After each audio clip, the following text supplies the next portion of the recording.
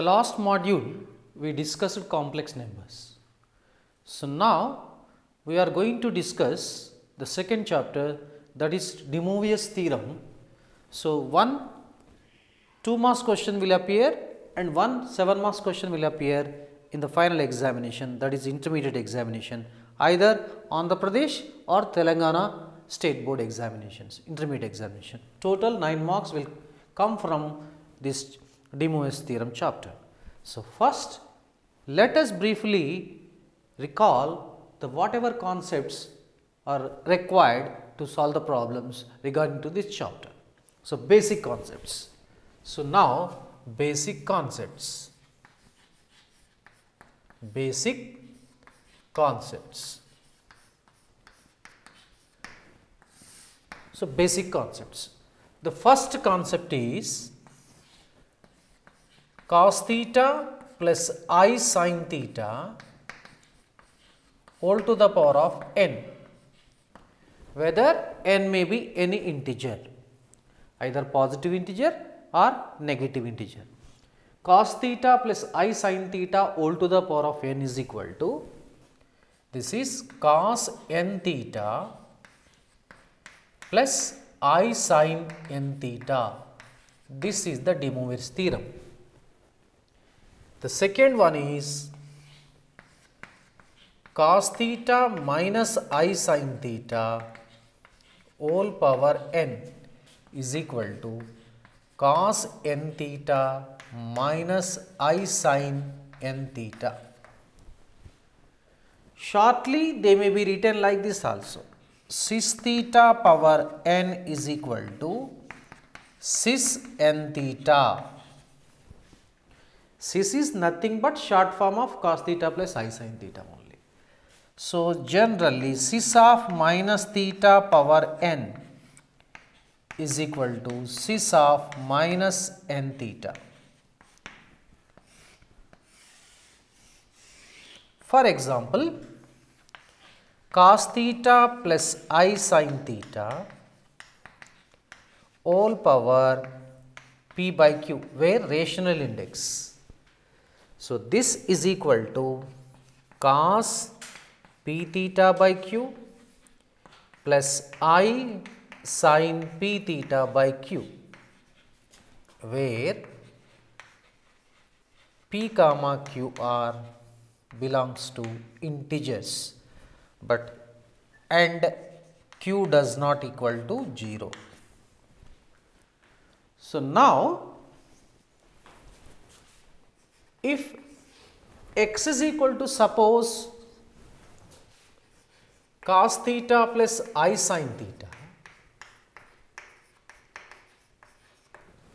in the last module we have discussed the multiplicative inverse of any complex number.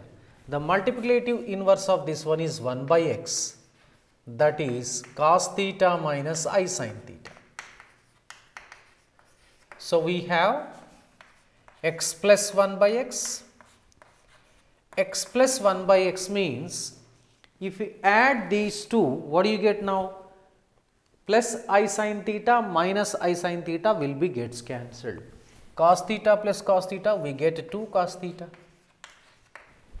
Similarly, x minus 1 by x, if you subtract it, these two gets cancelled, we get 2i sin theta. Even it can be extended like this also. We can remember x is equal to cos theta plus i sin theta, 1 by x is equal to cos theta minus i sin theta, x to the power of n plus 1 by x to the power of n is equal to 2 cos n theta x to the power of n minus 1 by x to the power of n is equal to 2i sin n theta.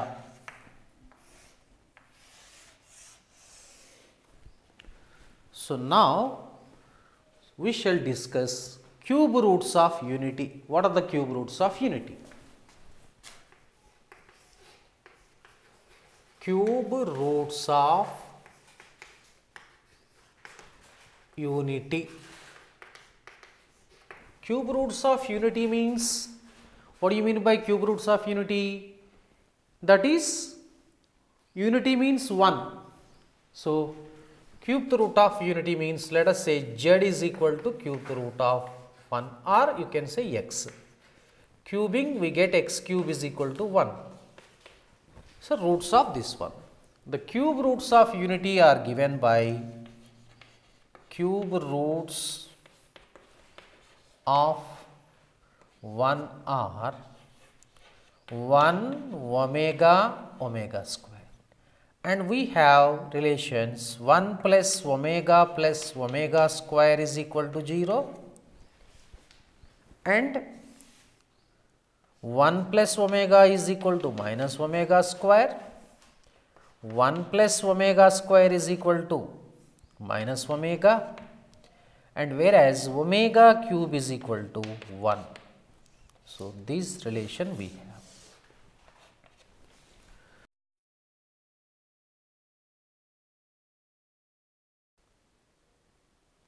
So, now let us discuss problems on De Moivre's theorem.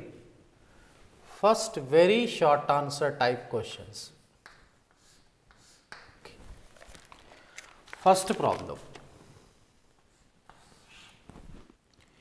If A, B, C are angles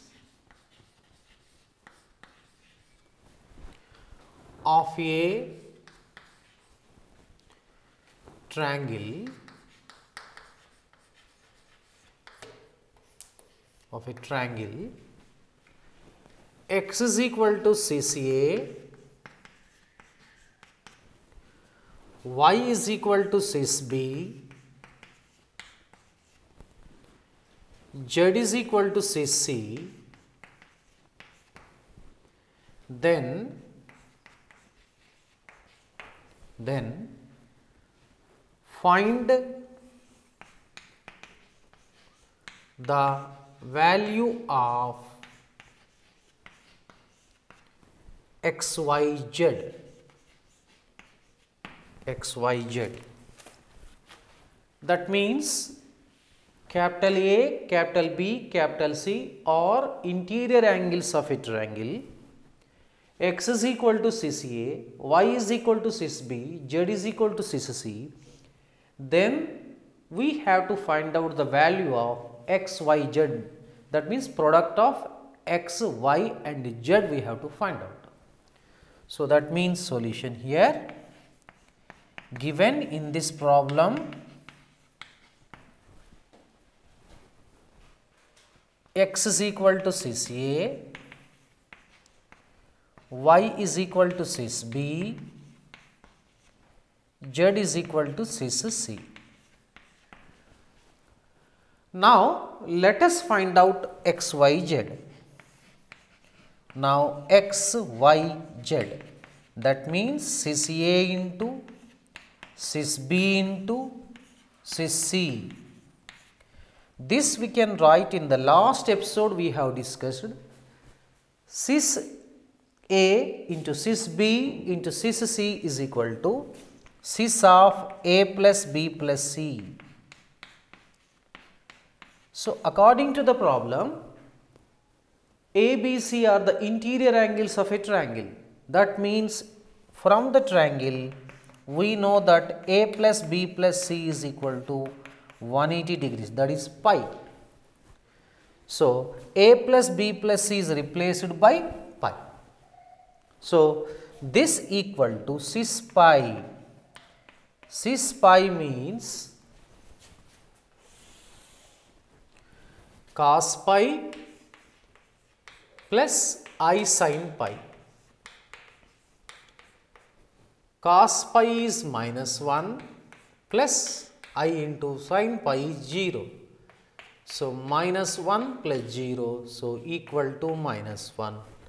Therefore, x, y, z is equal to minus 1. Let us move to the second problem now. What is the second problem? Second problem, okay, if x is equal to cos theta plus i sin theta cos theta plus i sin theta. Then find x power 6 plus 1 by x power 6. Okay, let us do it. See, here given x is equal to cos theta plus i sin theta. What is x power 6? x power 6 means cos theta plus i sin theta whole power 6. We know the De Moivre's theorem. What is the De Moivre's theorem? Cos theta plus i sin theta whole power n is cos n theta plus i sin n theta. So, we get this is equal to cos 6 theta plus i sin 6 theta. So, now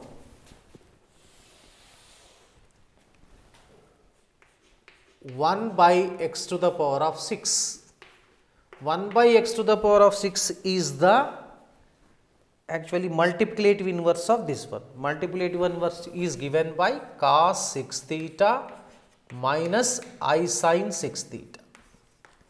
Now, what we have to find out? You check it here x power 6 plus 1 by x power 6. Let us add x power 6 plus 1 by x power 6 is equal to